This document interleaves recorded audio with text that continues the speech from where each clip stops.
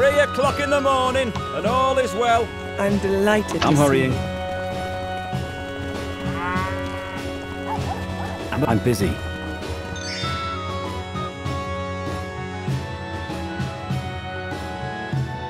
My lady. Todo o cenário do desenvolvimento de The Guild 3 é impressionante e bizarro ao mesmo tempo. Como fã dos dois originais, em especial do segundo, que muito correu no meu PC em 2008, foi com alegria que participei na reunião privada de apresentação do jogo em 2014 na Gamescom.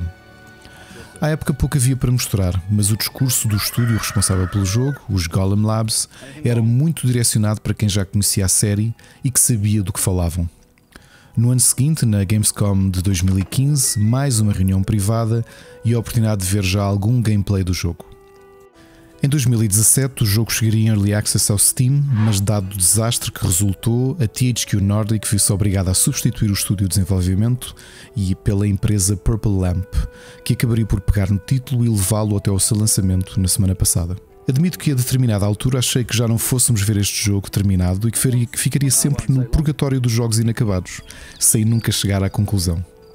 Felizmente não foi o caso, mas ainda assim, após largas horas de volta da terceira iteração deste simulador de economia e vida medieval, consigo perceber que o segundo jogo continuará a figurar no topo da minha preferência da série.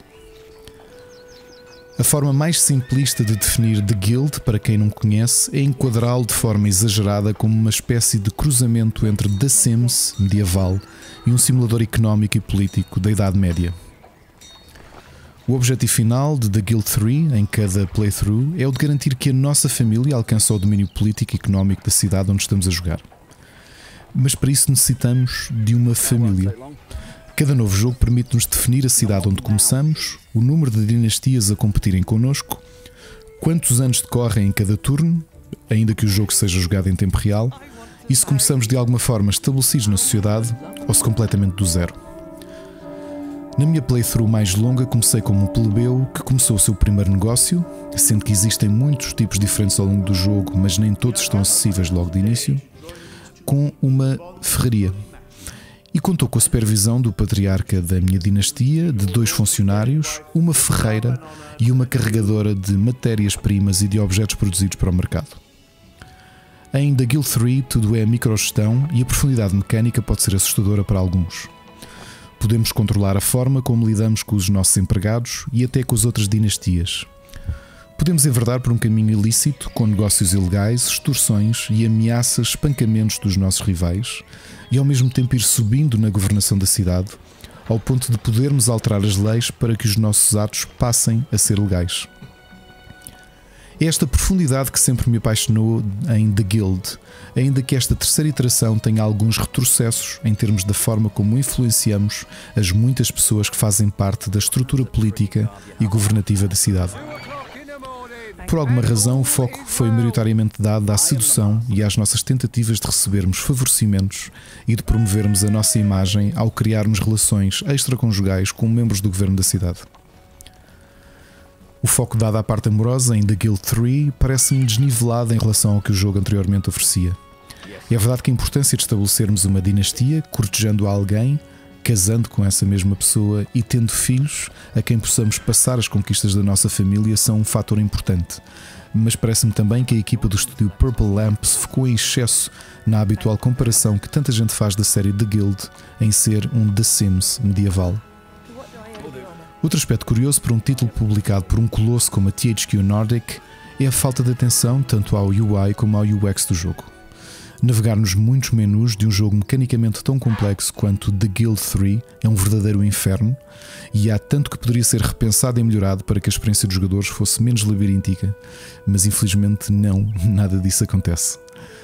Outra crítica fácil de fazer é que a THQ Nordic deveria olhar para esta série, que apesar de ser de nicho, merece outro tipo de direção de arte do que a apresentada.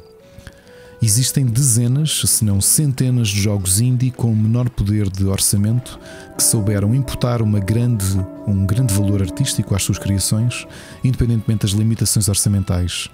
Mas The Guild 3 assemelha-se, no pior sentido da comparação, a um double A europeu. E apesar de o ser, já era a altura de se deslocar artisticamente de tantos outros simuladores banais feitos e consumidos na Europa.